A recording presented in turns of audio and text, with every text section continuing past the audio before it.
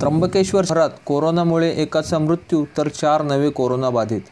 त्र्यंबकेश्वर शहरात काल एका वृद्ध महिलेचा कोरोनामुळे मृत्यू झाला तर पाच स्वॅबपैकी चार जणांचे कोरोना अहवाल पॉझिटिव्ह आले आहेत. अन्य एकाचा अहवाल निगेटिव्ह आला आहे. कोरोना पॉझिटिव्ह आलेले व्यक्ती अनुक्रमे कैलास राजानगर पुरुष चौवेचाळीस वर्षे कैलास राजानगर पुरुष वीस वर्ष अंबिका टॉवर पुरुष तेहतीस वर्ष निवृत्तीनाथ चौक श्री पासष्ट वर्ष असे आहेत. त्र्यंबकेश्वर तालुक्यात आत्तापर्यंत कोरोनामुळे पाच जणांचे मृत्यू झालेले आहेत. अशी माहिती Covid केअरच्या nodal officer doctor Rekhatai Sonawane यांनी दिली.